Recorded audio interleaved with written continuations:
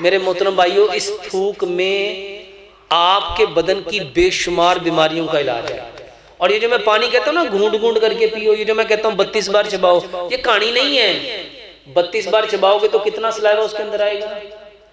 ये जितने लोगों के मैदे में जख्म है, ये जितने लोगों के आंतों में जख्म है, ये जितने लोगों के मुँह में जख्म है, ये जितने लोगों के मुँह में छाले हैं, ये जितने लोगों की छोटी आंत में जख्म है, मैदे में जख्म है, बड़ी आंत में जख्म है, जिसको पेप्टिक अल्सर कहते हैं, अल्सरेटिव कोलाइटिस कहते हैं, जिसको फेस्टूला कहते हैं, ये जिसको आप लोग बगंदर कहते हैं, वल्ला सिर्फ़ खाना चबा के खाओ।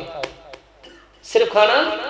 जब खाना चबा के खाओ तो कितना थूक अंदर जाएगा और वो थूक जब वहाँ उसके ऊपर लगेगा तो वो क्या करेगा? तो इसमें कोई दवाई है? ये जितने लोग कहते हैं ना, मैदा खराब है। मैं कहता हूँ, मैदा खराब नहीं, दिमाग खराब है।